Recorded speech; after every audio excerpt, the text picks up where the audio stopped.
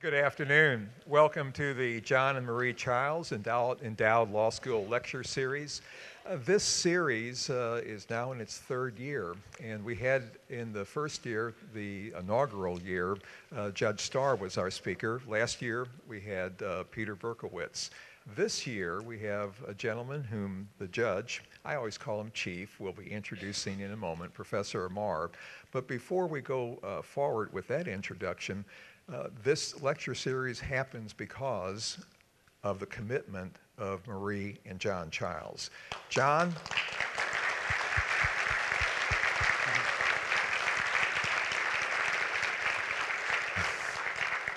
Marie has given me instructions each year that I am not to say anything more than that about them. And she's up here with the cutoff sign. You're overruled. John and Marie. Uh, John and Marie Chiles love Baylor. They love Baylor Law School. Uh, John is a Baylor lawyer. Uh, they met while they were each in the service uh, over six decades ago, now going on to seven decades.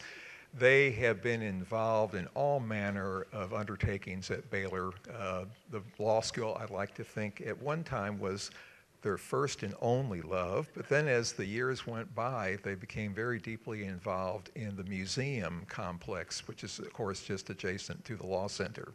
They lived here in Waco during that time. Then they moved to Dallas, and in Dallas, they found themselves proximate to the Louise Herrington School of Nursing, and they have become remarkable benefactors and cheerleaders for the School of Nursing.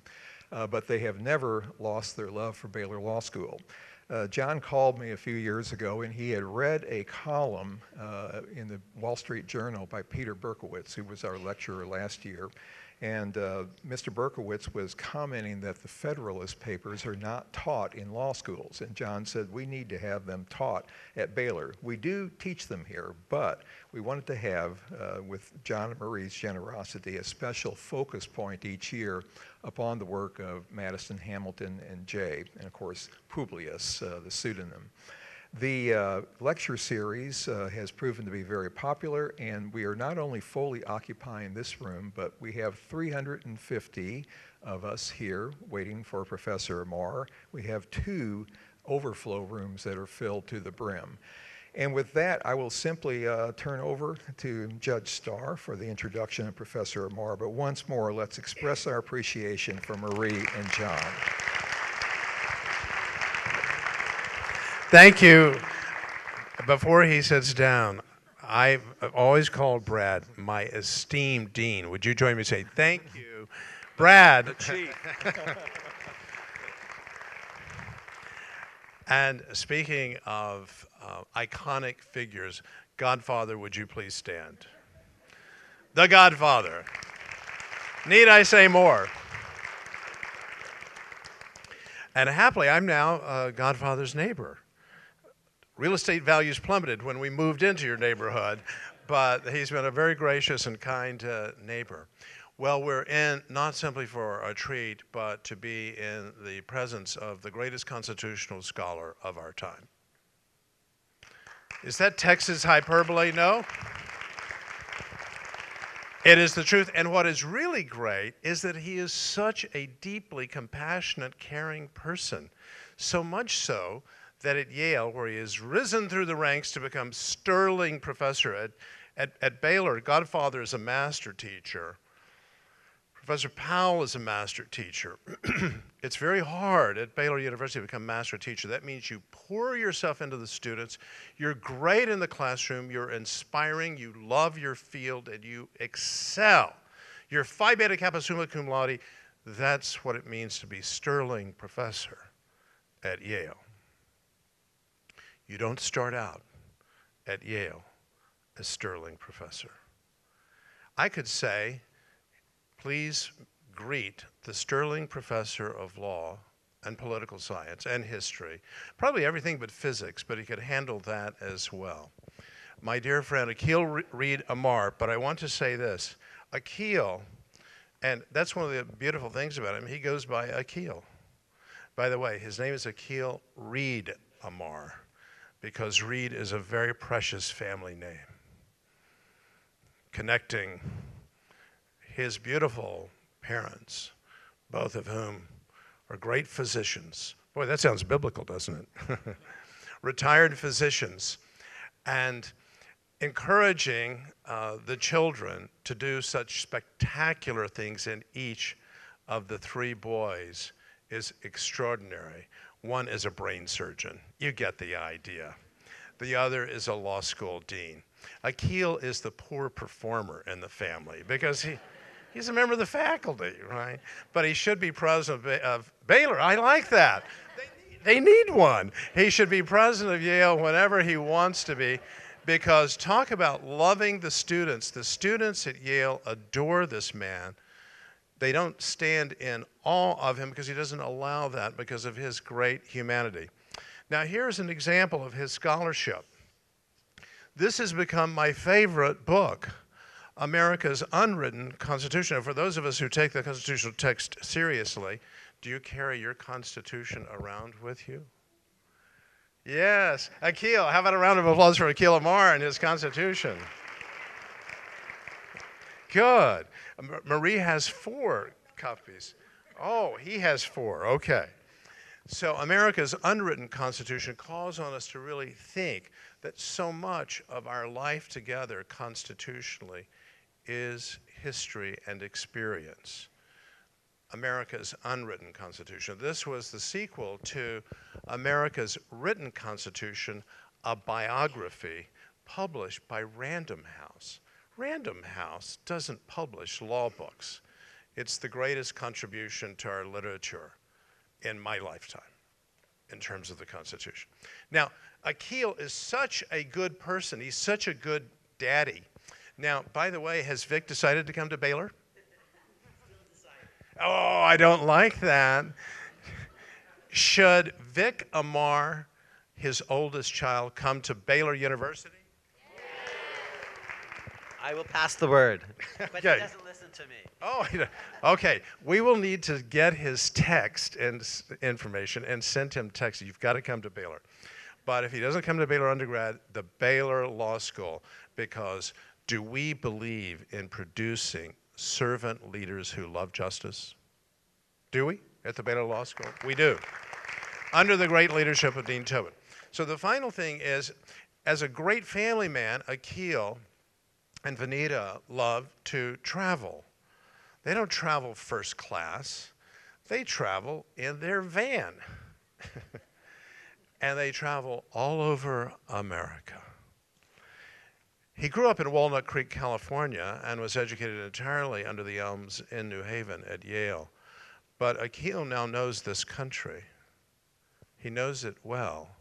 And what he sees is, oh, you can't see it in the back. Sorry, in the overflow room, the law of the land.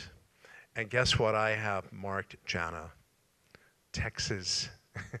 of course, there's a chapter on Texas.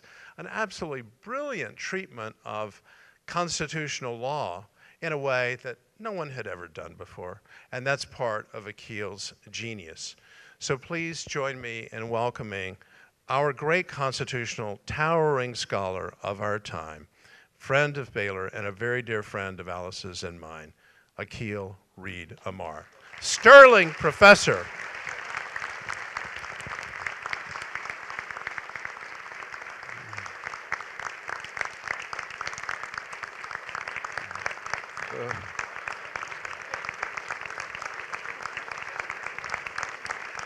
Before, before we hear from the professor, uh, Maria and I would like to, we, we would like to dedicate this of our third lecture uh, to Judge Starr. So we want this lecture to be in honor of Judge Starr and, of course, Alice Starr. So.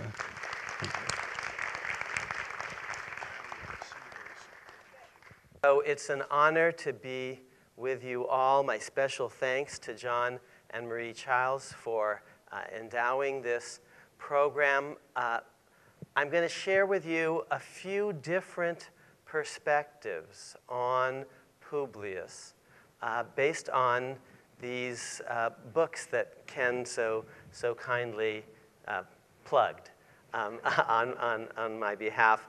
Um, and uh, if you want to get, because I'm, I'm very grateful that you all came and in the overflow rooms, but I'm also very greedy. You've given me your most precious resource, which is your time, and I'm going to ask you for even more of it if you're interested.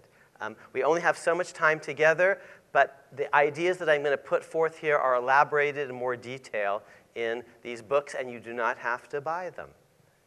Um, there are these things called libraries, and information wants to be free. You have to read them if you, if you really um, uh, want to get more background in the ideas that we're going to talk about together. And if you want to experience these ideas in a little bit more detail than we can go into in just our hour together, um, but uh, um, prefer not to have to um, engage the, the, books in all their, their ponderous uh, detail.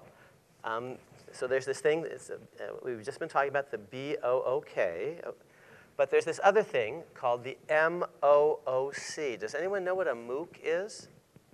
Oh, good. So this is maybe news to you. Is a massive, open, online course.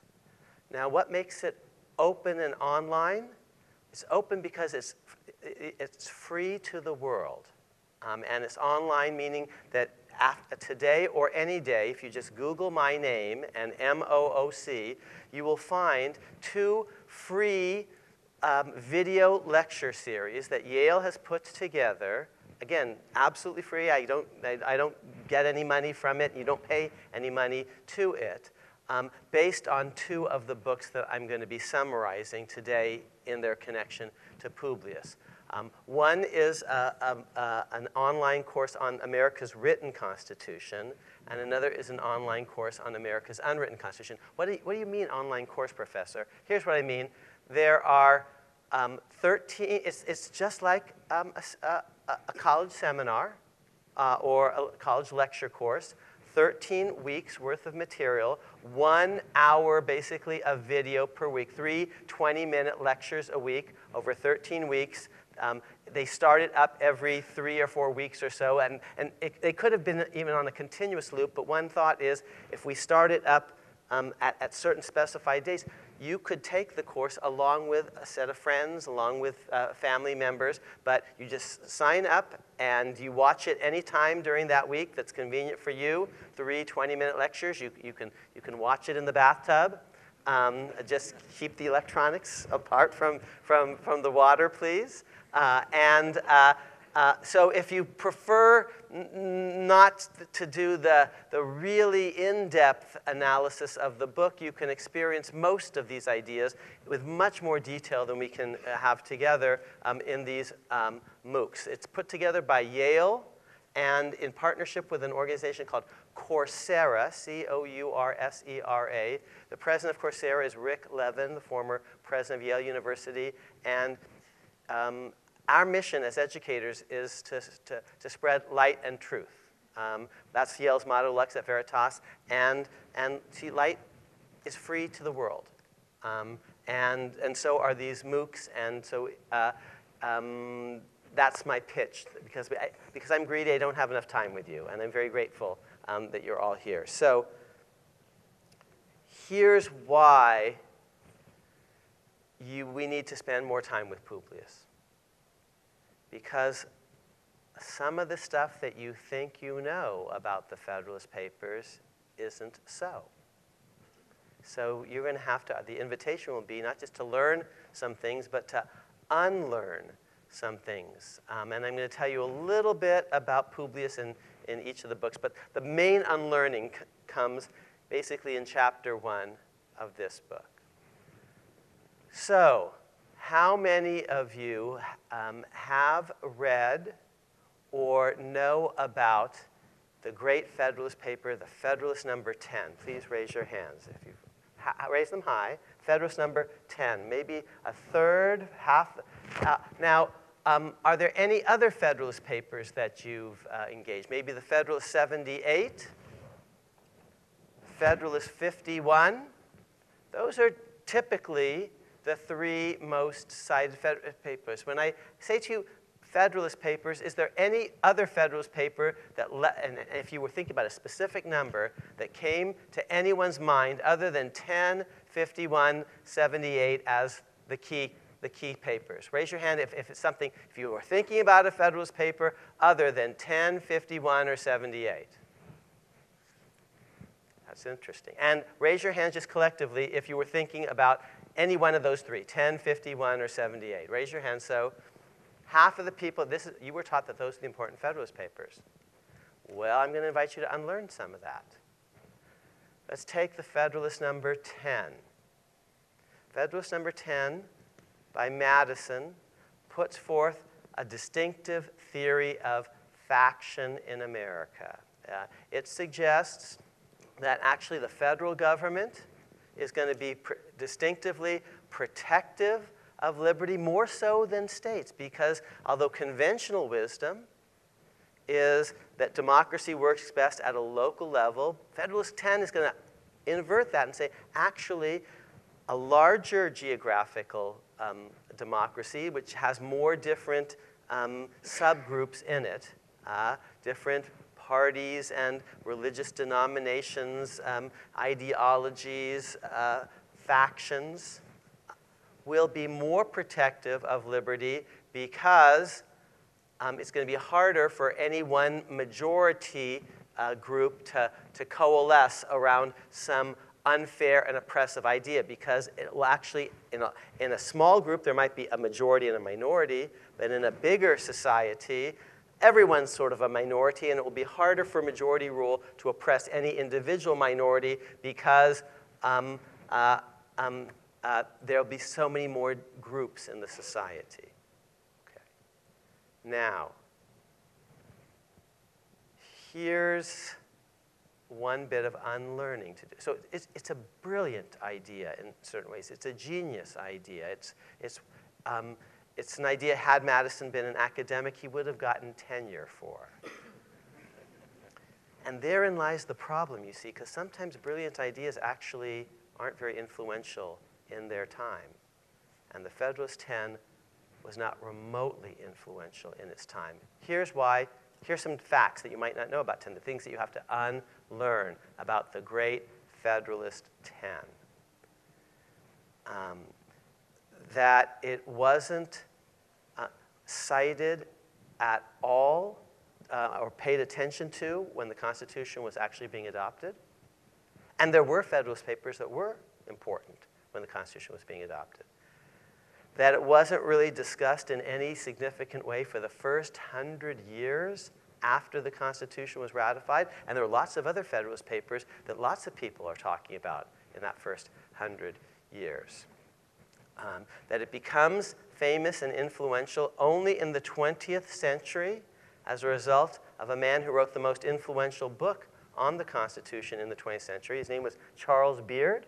The book, which was published in 1913, is called An Economic Interpretation of the Constitution. It was a, a somewhat Marxian um, analysis that basically suggested that the Constitution was designed to protect the propertied elite at the expense of the masses. And Federalist 10 comes in because you see, among the minorities that are going to be protected by a larger geographic um, uh, republic are going to be the 1%. And so that's why Beard was interested. But then other people come in, people on the, the political left come in and they say, oh, well, this is all about diversity and multiculturalism and how um, th- their strength in that.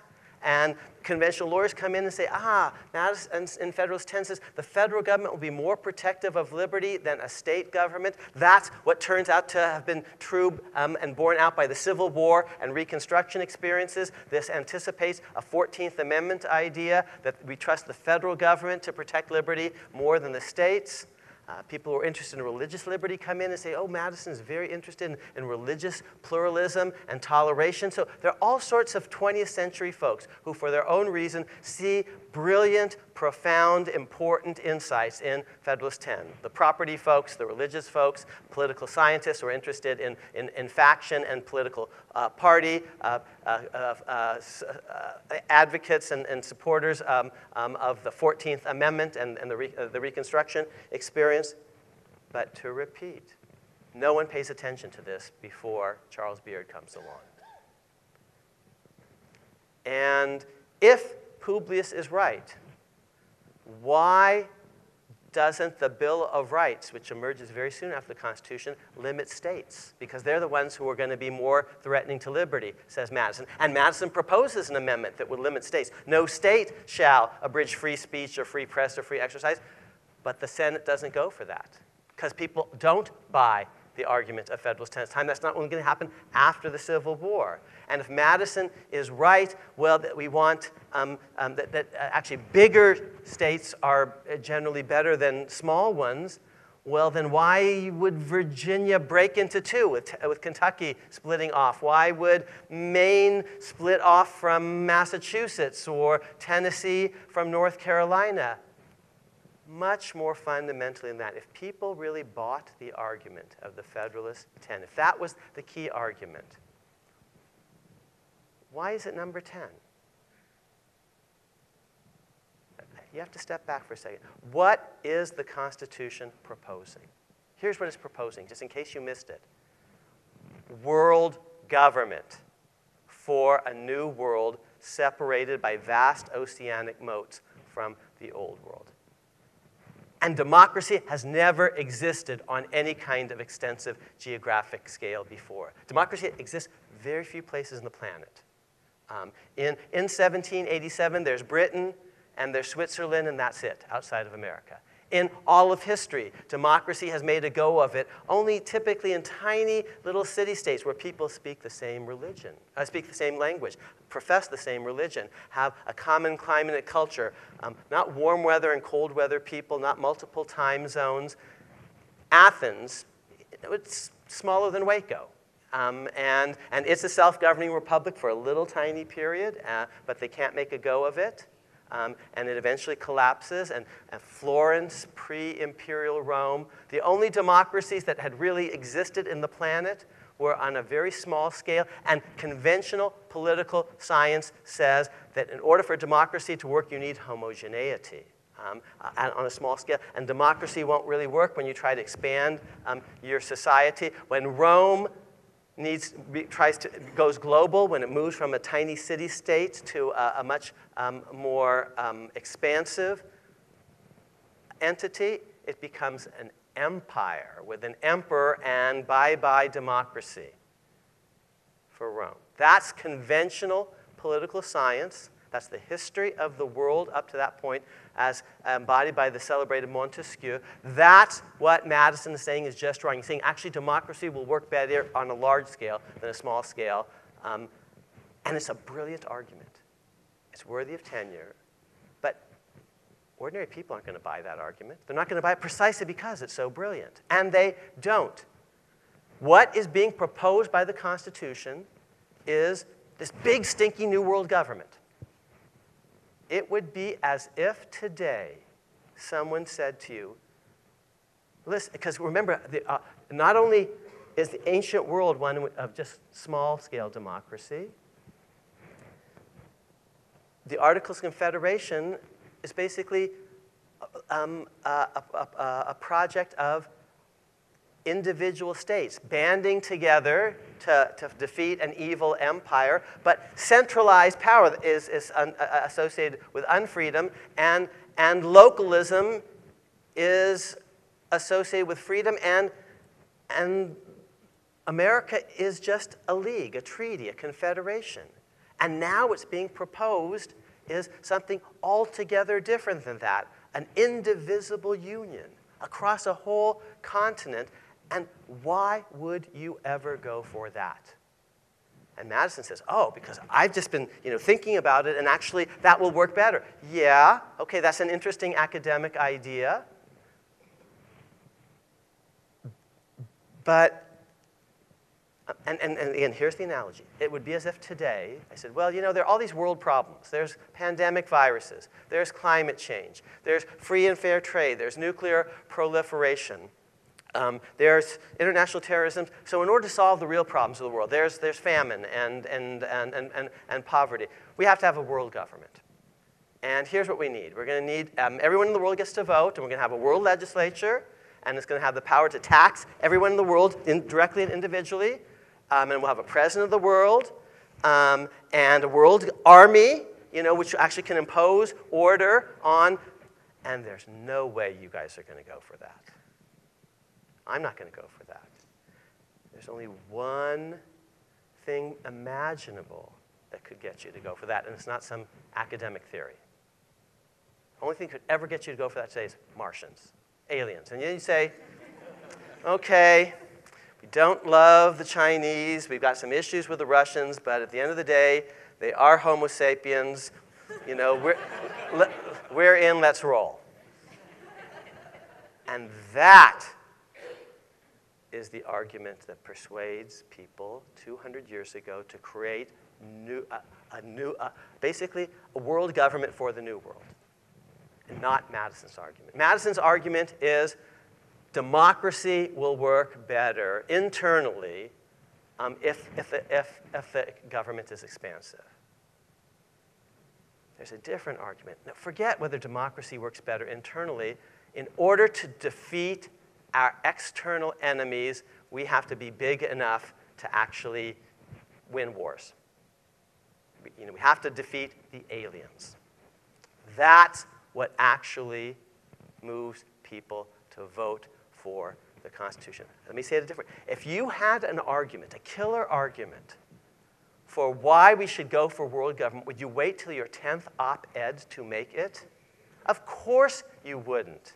Because that every farmer is going to say, what the heck? What, you know, what's up with this? Why do I need to trade in this? Why isn't Virginia good enough? I'm a Virginian. Why isn't Massachusetts good enough? Um, yeah, we needed a league, uh, a confederation, but nothing more than that. And the history of the world, we've never had anything like this. So Publius is answering that question. The Federalist Papers are answering that question, and the 10th Federalist is not where it's at. And the 78th Federalist about how great federal courts are going to be, well, that ain't where it's at either. That, that's months into the project. That's going to persuade people to vote for the Constitution so we can have judges telling the rest of us what to do all the time. That doesn't persuade people to vote for it. It comes very late in the project. Article 3 is third out of three, in case you missed it. Okay. Even Federalist 51 is very late in the day. So now, what argument does Publius make that actually persuades people, and what's the relevance of say? Now you can guess what's going to have to be actually the early Federalist Papers, before 10. Those are the ones that get reprinted outside New York and are hugely influential. And most of you have never read them, I suspect. If I had to pick a single Federalist paper, it's not Madison's 10, it's Hamilton's Federalist number 8. How many of you have read Federalist number 8? Great. But it, uh, and summarizing the argument of Federalist, uh, beginning with Federalist 2, 4 to 6, here's the argument. And it's not Madison's in 10 about um, uh, diversity and minority rights protection. Uh, it's not about democracy internally and, and a multiplicity of different uh, groups in society and factions. Here's the argument that persuades ordinary people. And it has huge relevance to our politics today, even. You can begin to understand what happened in the last election if you understand the real argument of Publius. Look around the world, says Publius in the early Federalist Papers, summarized in Federalist number eight. Look around the world and ask who's free in all the planet. And the answer is the Brits and the Swiss, and that's it. Publius does not know this. But by the way, you look at a map of Europe in 1943 and you ask, you know, who's free?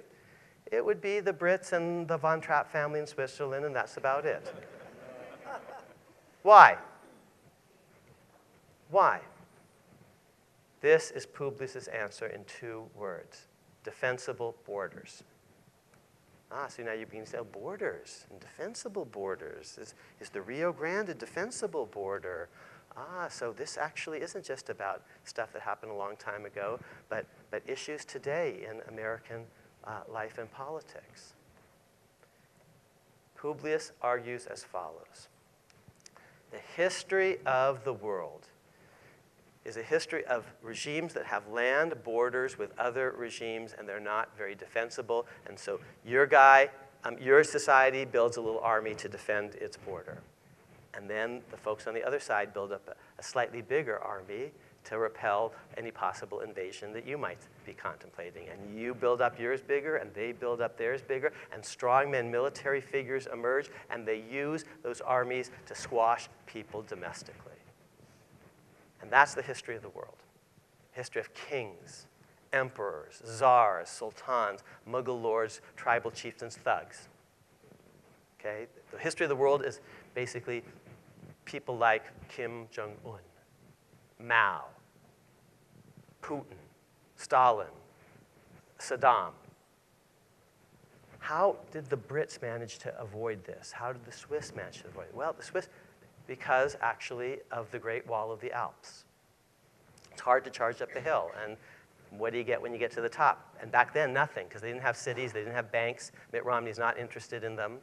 Um, um, more goats than people um, in Switzerland at the time. What about Britain? Britain is an island, you see.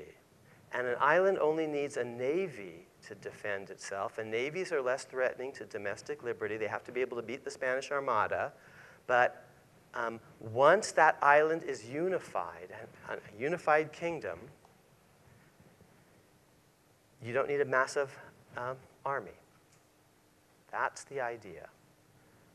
When England and Scotland were separate kingdoms, the Scottish were fighting with the English, and the English were fighting with the Scotch, and Mel Gibson is coming down, and, and, and Mary, Queen of Scots, is intervening, and no one is free because these, these foreigners are at risk of invading us. But when England and Scotland create a complete and perfect union, remember those words, perfect union, um, in, uh, uh, in the early 1700s, under Queen Anne, 1705, 1706, basically, because um, Hadrian's Wall, uh, uh, uh, a new, new possibilities emerged for genuine freedom and democracy. Hadrian's Wall was no Great Wall of China. It was no Alps. It wasn't a defensible border, and so it didn't work so well. But when you created um, uh, a perfect union of Scotland and England, then actually liberty could flourish. So Publius' argument is we have to create a more perfect union on the model explicitly of the, of, of the perfect union of England and Scotland. We have to get rid of the land borders between the states for um, uh, the most elemental purposes. Um, and because if we have land borders, here's what's going to happen. New York is going to build up its little army, and Pennsylvania will build up its on the other side, and New York will build bigger, and Pennsylvania will build bigger, or Virginia, pick any other states you might imagine. And then the European powers are going to start playing off the, the, the states against themselves in divide and conquer fashion, and oh, we're back to unfreedom, and, uh, and it will look like the continent of Europe. That's door number one. Door number two, so 13 states, we're going to have some problems. Maybe we create three or four regional confederacies, a northern one, a middle Atlantic one, a southern one, but we're going to start fighting with each other about who controls the West, because there's gold in them thar hills of Texas um, and California, N- not quite seen, but over the horizon. And again, Europe is going to play us off against each other.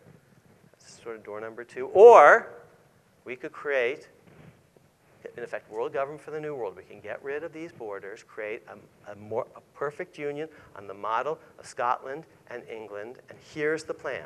And it's, it, it's all in the early Federalist Papers, and it has a darker side as well as an attractive side. We're going to unify the, island, unify the continent. We won't need a big army at all. 5,000 people will suffice, and that won't threaten domestic liberty because we'll have this vast moat called the Atlantic Ocean separating us from the old powers of Europe. Vast oceanic moat. It's going to be the English Channel times 50. 5,000, and it's hard to launch an amphibious invasion. You know, project power that far. Um, um, so if we can, if we can unite, 5,000 people is all. We'll need a navy, um, just like the, um, the, uh, uh, the Brits need a navy. But navies are less threatening to liberty. They're not a land based occupying force. And now, in this new United States of America, and I promise you, Publius sets this all out, we will kick the Brits out, because they still have forts uh, in, in America. We'll kick the Brits out. We'll kick the Spanish out. Six Flags and all that. We'll kick the French out, another one of the Six Flags. We'll kill the Indians. We'll control the continent, manifest destiny, the Monroe Doctrine, from sea to shining sea, remember the Alamo, and no one will mess with the US of A.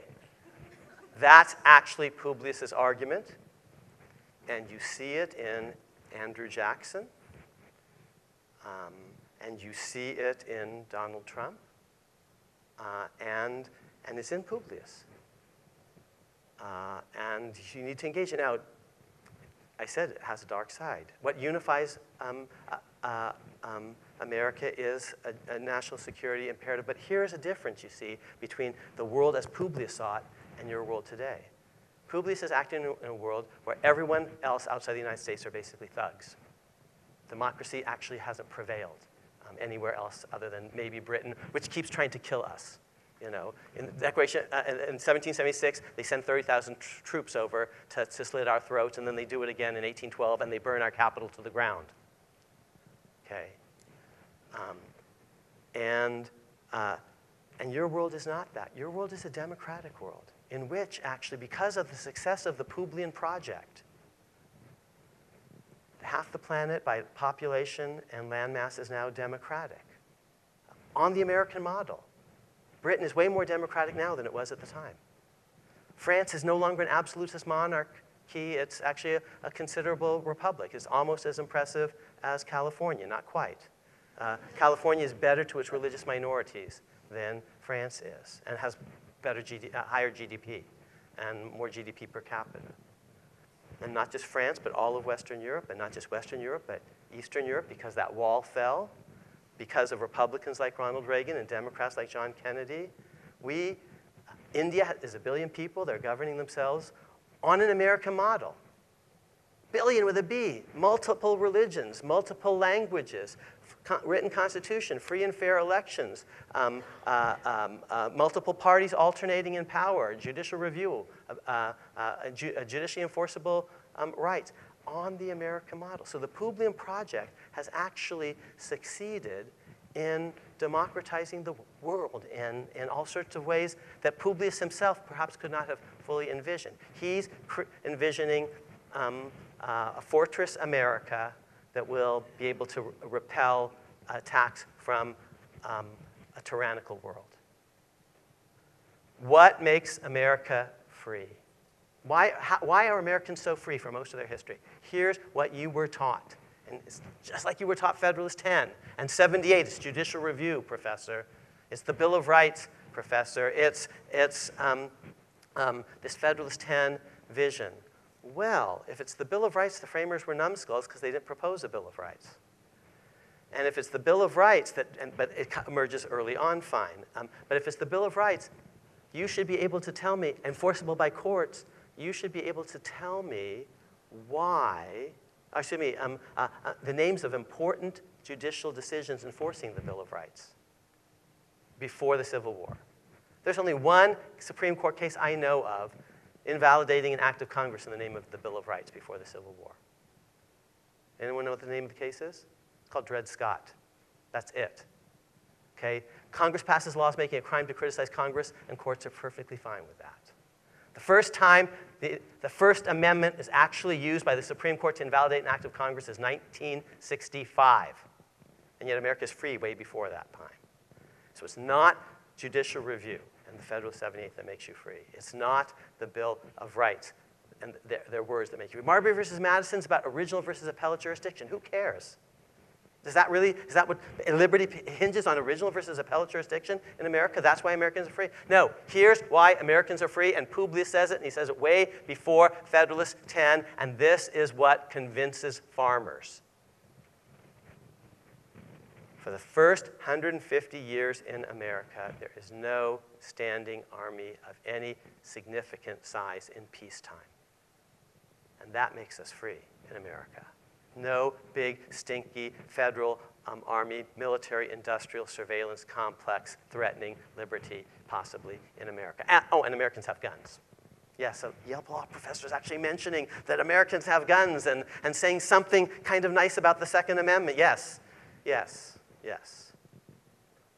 Okay. So that's why American is free, because of the early Federalist Papers, this geostrategic vision that you, we don't need to be, we won't need to have a big stinky army.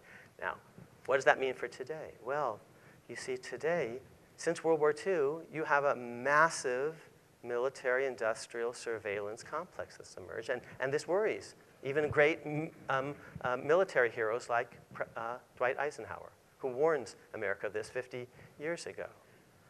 Um, and so maybe we're going to have to rely on courts more than we ever did because we face a different kind of threat. On the other hand, the rest of the world is way more democratic than for most of our history.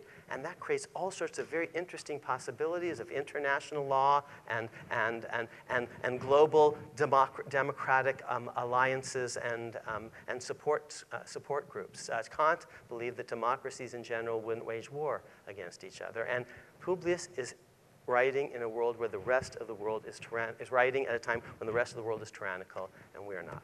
Okay. So all of that is basically Oh, and so, so, and the last election is about some of these Publian themes of is our border defensible?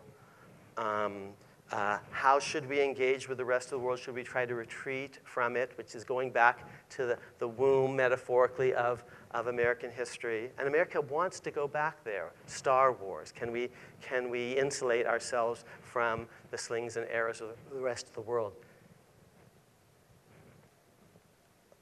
Say it a different way. The last time before 9 11 that foreigners draw blood in the heartland of America, on American soil, is the War of 1812. That's why Americans are free. 30 million Soviets die in World War II, and here it's only, and, on, and a lot of them on, on Soviet soil, and here it's only Pearl Harbor. It's not Dallas or San Francisco or New York or Washington, D.C. because these massive moats. Okay.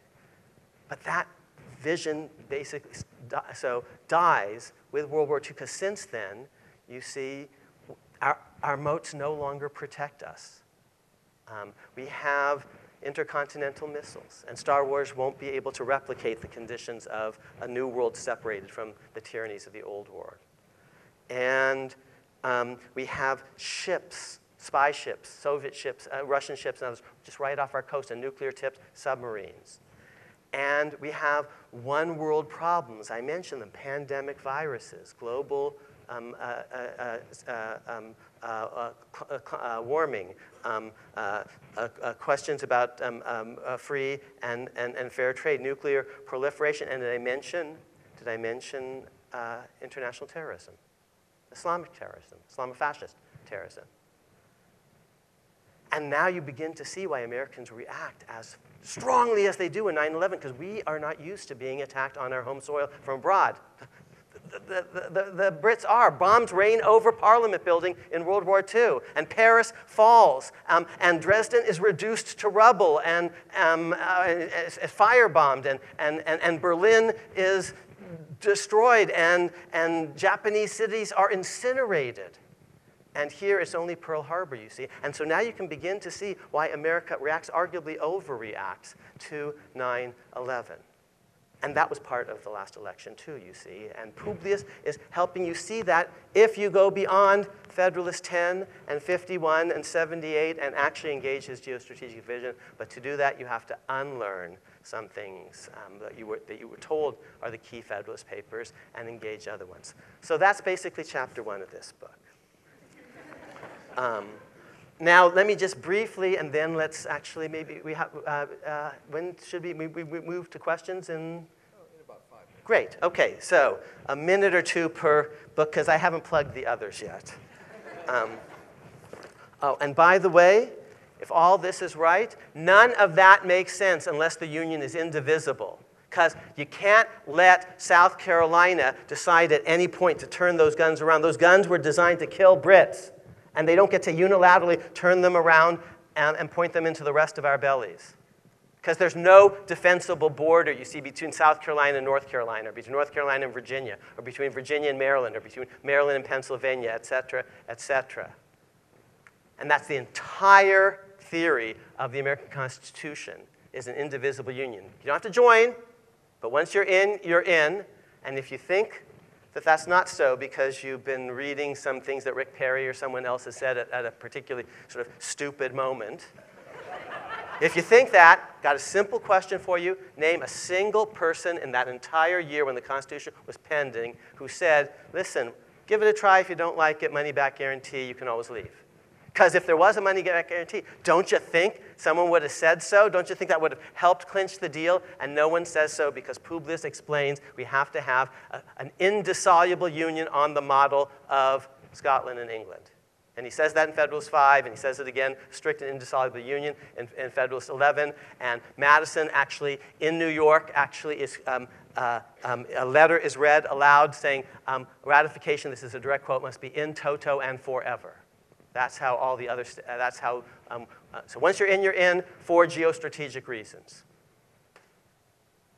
And that's why the great Texan, of course, on this story would be Sam Houston, you know, a great unionist.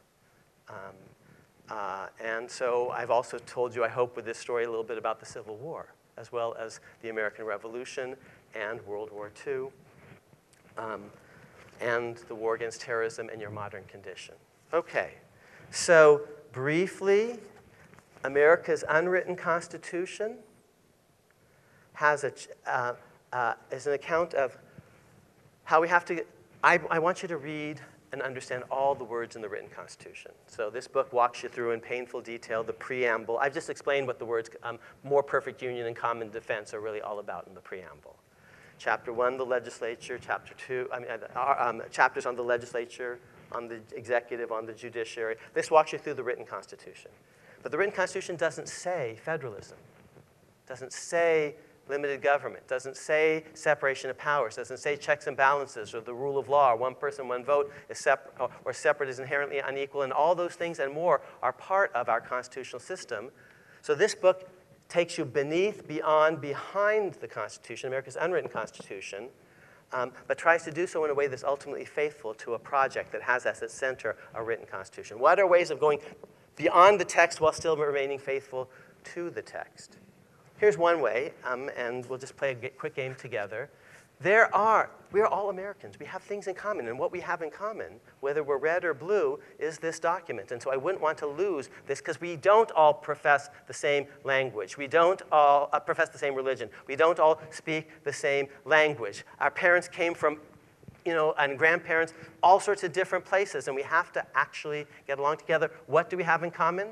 Because unlike the Athenians, it's not religion, it's not language, it's this but what else do we have in common? Because we have resources that we are all Americans in some profound ways going beyond this. What other texts are that are that are not the written constitution but are like the written constitution basically stand for propositions that all Americans of good faith accept today. Left and right, red and blue. My claim is there are several of them.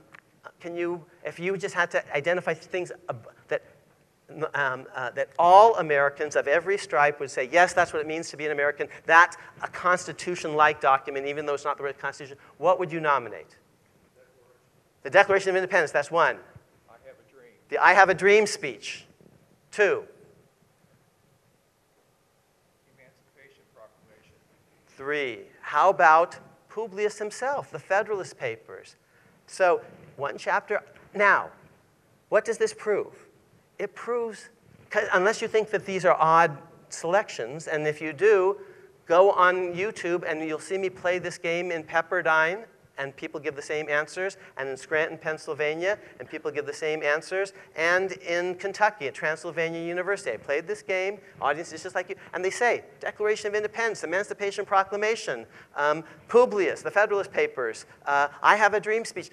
This proves that we're all Americans, you see, that we actually do have a common culture, set of resources that go beyond this text. It's, it's not infinite. You can't say the Bible because even though some of us are Christians, some of us aren't. And that's not what makes us Americans as such.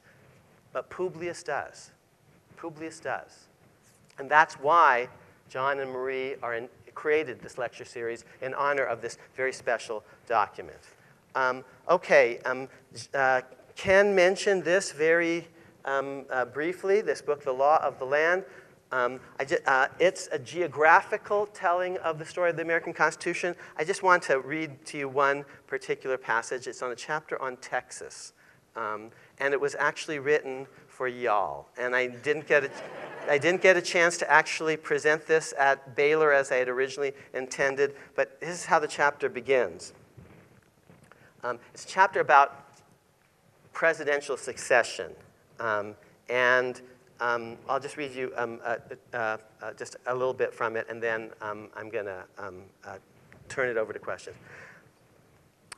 My first television memory is from November 22nd, 1963. And even now, I flinch whenever a news bulletin flashes across the screen. This chapter examines the constitutional significance of that dark day in Dallas, which prompted the proposal and ratification of the 25th Amendment to our Constitution. This amendment, a seemingly small tweak to our system of presidential succession, actually has some large implications, uh, several of which have not been uh, fully appreciated. A thin Texas triangle stretching from Dallas to Stonewall to Crawford offers a special spot from which to survey the relevant constitutional issues. You guys are in that thin, thin little triangle. This triangle encompasses not just the poignant place where JFK fell, but also the Texas ranch of the man who caught and carried forward Kennedy's flag, Lyndon B. Johnson, and in addition, the Texas ranch of George W. Bush, the first president to formally invoke Section 3 of the 25th Amendment to temporarily transfer power to his vice president, who also was a Texan, although he claimed to be a Wyomingian. This thin triangle sits deep in the heart of Texas, and in precisely that part of Texas where the South meets the West. The story of modern presidential succession and selection is a particularly interesting one when seen from a Texan southwestern angle. And I just end, and here I'll end the lecture. So I, am talking about Texas here because the constitutional amendment about presidential succession it's all about Texas. And by the way, our rules are kind of screwy about presidential succession. You vote for Reagan and H.W. Um, Bush from Texas, and if, God forbid, something happened, um, you end up with um, Tip O'Neill as president. Or you vote for Bill Clinton and Al Gore, and if something, God forbid, happened, you end up with Newt Gingrich. Um, you vote for George W. Bush and Dick Cheney, good Republicans, and you end up with Nancy Pelosi. Um, you vote for Obama and um, Biden, and you end up with uh, John Boehner. Or, uh, you, you vote for Republicans, and you end up with Democrats. You vote for Democrats, you end up with Republicans. So that's one of the things I try to talk. And this is teed up by an, an amendment that's precipitated by events here in Texas, not so far fr um, from this very spot, uh, generating the first Texan in the White House um, in a very long time, Lyndon Johnson. Here's how I end, and I'll end the lecture um, uh, in this way. Um, um, my first television memory associated with one Texas city because I wrote this for you all in Baylor, and I never got a chance to present it here. Um, um, my first television memory associated with one Texas city is counterbalanced by my most vivid early television memory. As a 10 year old boy, when mankind reached the moon, an astronaut spoke directly to and about another Texas city. The first word uttered on the lunar surface was Houston. This was a reference to the Houston Space Center and thus a tribute to the NASA Man on the Moon in this decade program, brilliantly launched by the great John Kennedy and brilliantly carried forward by JFK's great wingman, LBJ, in perfect keeping with the principles I try to explain in this chapter. Americans are a profoundly imaginative people, and Houston should remind us that we must never stop imagining. In this spirit, um, um, in uh, this discussion, um, I've tried to offer an imaginative overview of an amendment that, like the Houston Space Center itself, will be forever linked in American memory to two of America's most imaginative presidents, John Fitzgerald Kennedy and Texas's own native son, Lyndon Baines Johnson. Well, thank you very much for your attention. Del- I'd be delighted to hear your, your comments and questions you.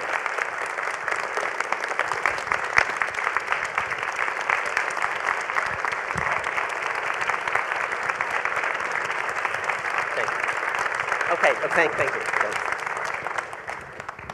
So um, we have some Professor time? Amar, you Yes. are a crowd pleaser. You have delighted and enlightened us, and I believe that you can spend five or 10 minutes with us on questions. As much as you like. All right. I came a long way to be with y'all. If you can raise your hand uh, for a question, and Stephen Rispoli will come along with the mic.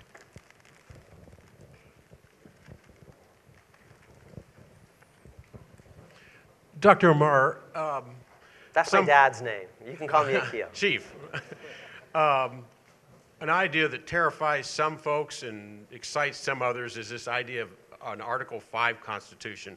How terrified or excited are you? A constitutional convention. You, um, Yes. So I've changed my mind on um, constitutional amendments. I used to think, oh, the Constitution's too hard to amend, things could be so much better. That was when I was a young man.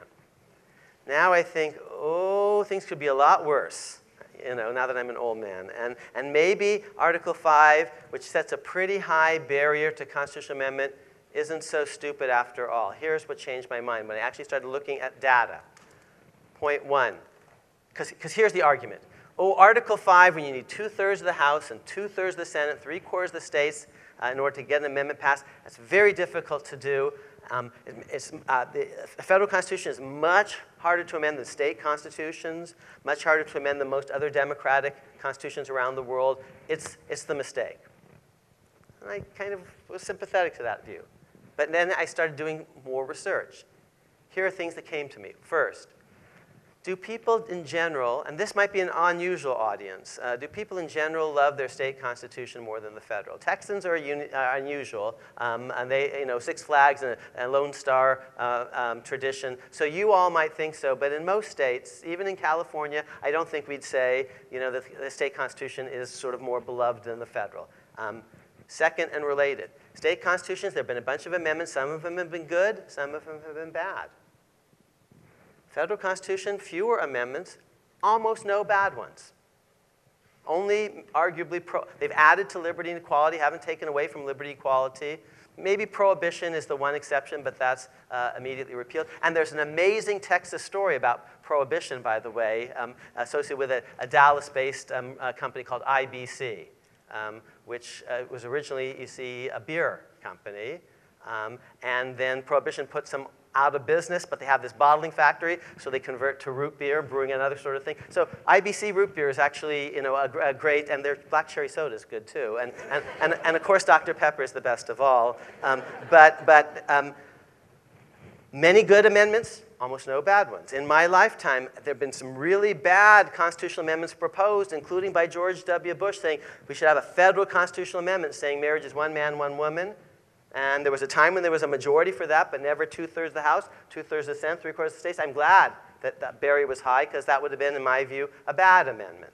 Um, or an amendment say, to, to criminalize flag burning. Oh, that's a great idea. Let's rip a big old hole in the First Amendment.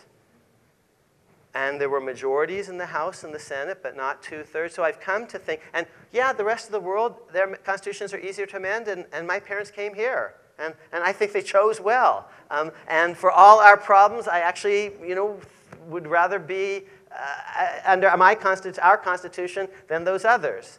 So um, now what you asked specifically, not just about Article 5 generally, but an Article 5 convention. But here's the problem. Um, see, what is, um, ours is a very um, closely and deeply divided society at the present moment.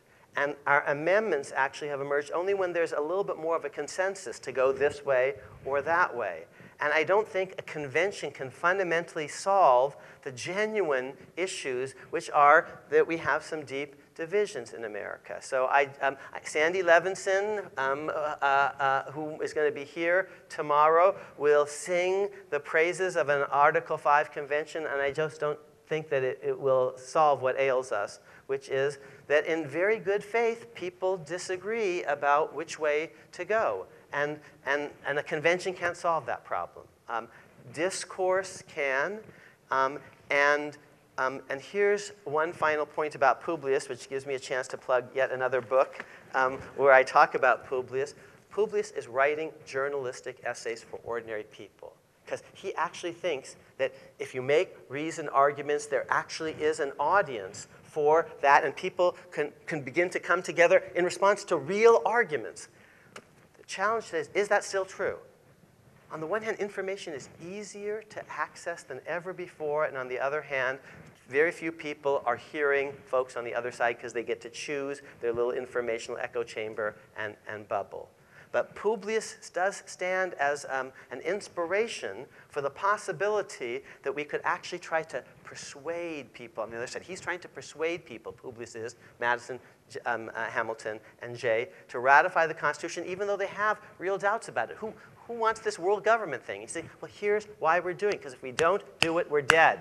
Because the Brits almost beat us in the last election. It was a triple bank shot to win, and they're going to kill us the next time around. And if not them, it'll be the Spanish, and if not them, the French. Yes, they helped us last time around, but maybe not next time. Don't count on the French. Never count on the French. That's what Publius is saying, because you can't ever count on other nations to protect you. And Donald Trump channels some of that, you see. But Publius is trying to actually persuade people. That's the solution to our problems, not some constitutional convention. We actually have to start talking to each other and being willing to listen to and read folks on the other side. And Publius stands as, you know, just a wonderful uh, and inspiring example of the, the most impressive constitutional analysis aimed at ordinary citizens, you see. I try to be somewhat in that tradition because I'm trying to take these ideas about the Constitution and make them accessible to a broader public audience. That's in the Publian tradition. Thank you. Others? Is there something about the Constitution that makes a two-party system necessary? Yes, there is. The question For- is, for those who didn't hear it, is there something about the Constitution that really um, drives us very uh, strongly toward a two party system? My answer is yes. There's actually an entire chapter in this America's Unwritten Constitution on just that question. It's called um, Joining the Party, um, America's Partisan Constitution. My claim is a two party system is one integral element of our unwritten constitutional system. Um, and, and I try to explain how that's so and why that's so. But in a nutshell, when you have basically um, um, uh, an electoral contest that revolves around a single office, one president, one senator at a time, one governor, single member legislative districts for um, the state house or the federal house of representatives. When there's one seat up for grabs in long term equilibrium, um, the system will push hard toward a two party system because anything, uh, any other party is basically in long-term equilibrium going to be a wasted vote. This is called Duverger's law. It's a law of political science. It's a regularity like the laws of supply and demand, or Gresham's law that bad money drives out good. Um, it's not true universally, but America is a particularly strong example of that because since 1860, we've had two parties in America, the same two parties um, uh, for virtually every race state legislative, state executive, for those who have uh, elected judiciaries, state judicial um, partisan uh, elections, um, federal legislative president. When someone other than one a member of those two parties actually wins, it's a man bites dog, Jesse Ventura, um, sort of Angus King story that's very distinct. And I try to show in this chapter how a two-party system, once in place, entrenches itself, most particularly with a rule passed by Congress in 1842 requiring single-member districts for the House of Representatives, which is going to push very strongly in a two party direction. So, as a practical matter, yes, ours is a two party system, and that makes us different from many societies around the world, just as many societies have parliamentary systems. In America, we have presidentialist. Every state has a governor who's a little mini president. He's elected independently of the legislature rather than picked by the legislature itself. So ours is a presidentialist model and a two party model, which makes us pretty distinctive in the world among the great democracies. We have time for one more Oh, oh, oh, and that's a beautiful set. You all were taught. Uh, uh, in the unlearning department. I'm sorry, I missed a, a, a learning uh, uh, uh, opportunity here, a teachable moment.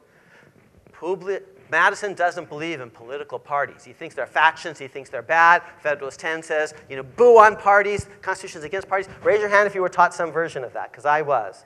Okay. What's the oldest political party in America? It's called the Democrat, the Democratic Party. Who founds it? His name is James Madison along with Thomas Jefferson. He is Karl Rove, avant la lettre. He's a political operative, and so Federalist 10 isn't the whole story. It's not even the whole story of Madison. He is the co founder of the modern day Democratic Party. It's the Jefferson, Jackson, Madison Party, and that's a different vision than the one in Federalist 10.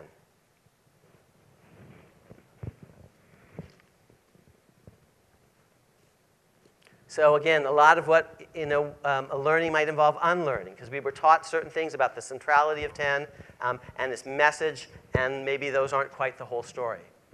Hey, how's it going? Thanks Hey. so much for being here. I got this good pocket constitution. I have a more contemporary question, if I can ask. Yes. Um, immigration has been a really big thing that we've been hearing about throughout the campaign and even today. And as we know in the 14th Amendment, it says all persons born or naturalized in the United States and subject to the jurisdiction thereof are citizens of the United States. Now, our president has stated that this concept is not necessarily settled law. I'm curious as to your opinion as to whether this is settled law and if there's any potential that someone born in the borders of this country may not be a citizen of this country. Thank you for that question. I don't want to be partisan here, so I, I am going to, um, in response to the question, criticize President Trump. So let me, to balance that, say he's made really one genuinely big and important uh, constitutional decision thus far, and that was to nominate Neil Gorsuch to the court, and I think it's a distinguished uh, choice um, and an important one. Um, before that, he made one important constitutional decision, that was uh, to name his running mate, and, um, and he picked someone again, I think, who is much more sort of sober than um, other presidents who have picked other running mates, Sarah Palin.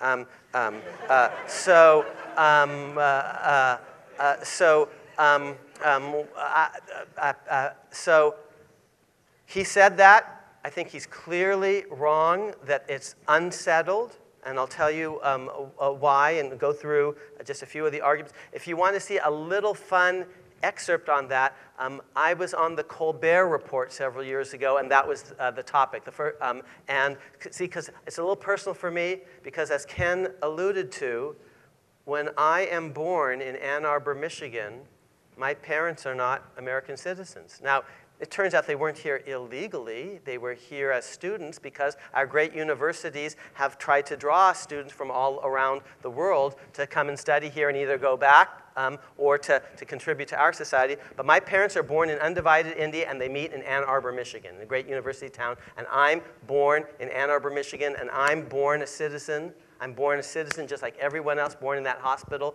on that day. And that's why I start doing, in the end, I think that's why I do constitutional law, because on the day of my birth, the Constitution gives me this great gift of birthright citizenship um, that you know, I've been trying to repay by, by studying the Constitution and bringing its deep wisdom um, to uh, light. Now, why does, is, is it so clear? Well, let's start with the text. It says, everyone born in the United States is a citizen of the United States. And it doesn't say to uh, uh, citizen parents. You say, well, professor says, and subject to the jurisdiction thereof. And I say, okay, fine. Suppose you're a kid and you're born to people who, even who are here illegally.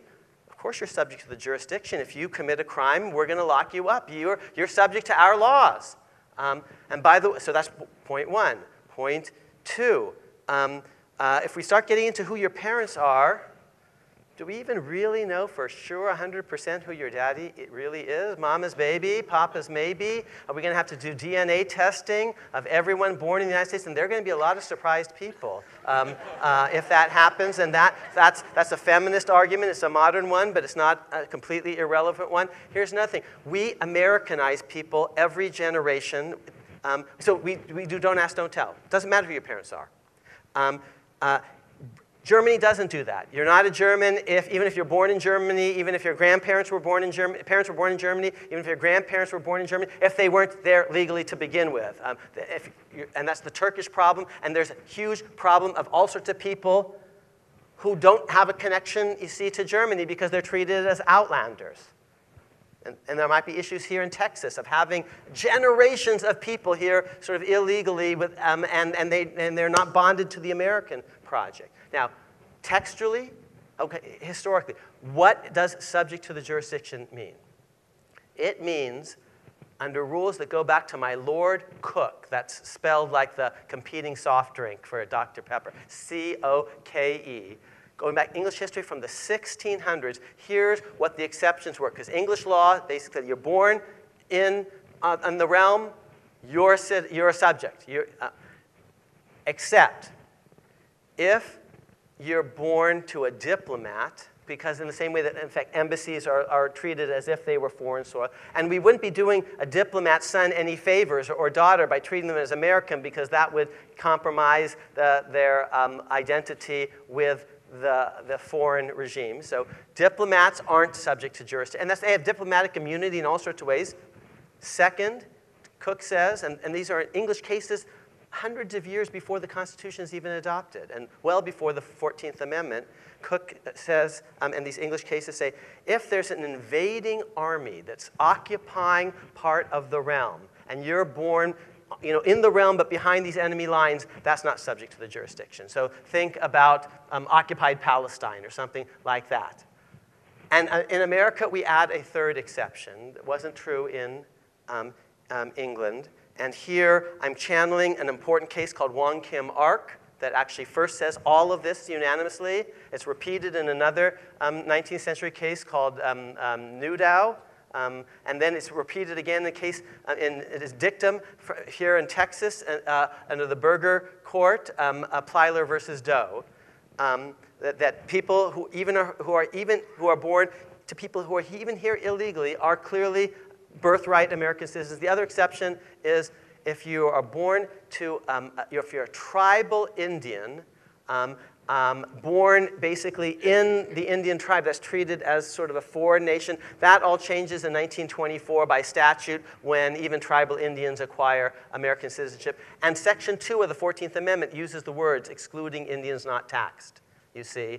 And the Civil Rights Act of 1866, which is the companion statute to the 14th Amendment and has the same sentence that you just quoted, actually modifies it a little bit and it says excluding Indians not taxed. So, so subject to the jurisdiction means, just to repeat, um, diplomats' kids, kids born behind occupied uh, uh you know, enemy lines in the occupying army, and um, tribal Indians pre 1924.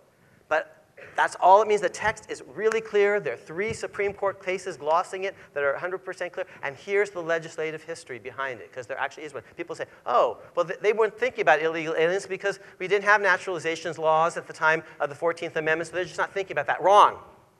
We actually have a rule prohibiting certain kinds of people from coming to the United States, federal law, way before the Civil War. In 1808, the International a slave trade is prohibited. You can't bring slaves into America from abroad, and yet they are smuggled in all the time because you all here have an, just a voracious appetite for cotton, and cotton doesn't pick itself. Okay? And so people are engaged in massive lawlessness in importing and smuggling all sorts of slaves here illegally. And when they arrive here, and they didn't choose to, they're being you know, forced to come here, they are, in two words, illegal aliens or to be more politically correct, undocumented persons. Okay? They're here illegally.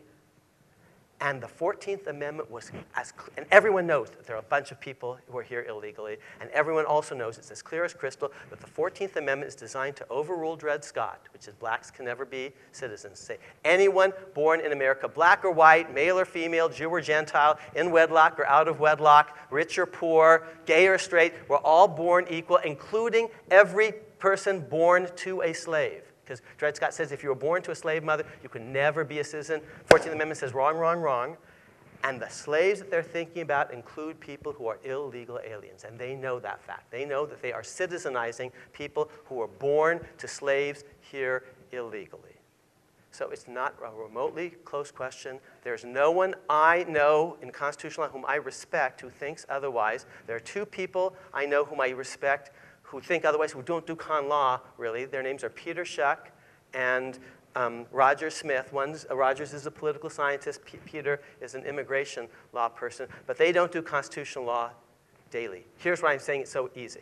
There's the text, and it's utterly clear. There's the legislative history, and it's utterly, and the purpose and intent, and it's utterly clear. There's three, three Supreme Court cases glossing this, and, and there's no crack of daylight. There's a tradition going all the way back to the 1600s in the Anglo-American world, and it's clear. And there's some basic structural and policy reasons that suggest that this actually really does make a lot of sense, whether we do the feminist card or the no, no three generation of, of, of, of Outlanders card. So that's why it's a good question, and it's settled. Professor Amar, thank you for a delightful and splendid discussion.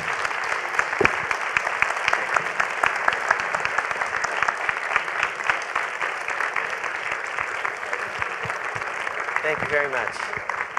And also let us again thank Marie and John Chiles for Yes, making this yes, possible. please.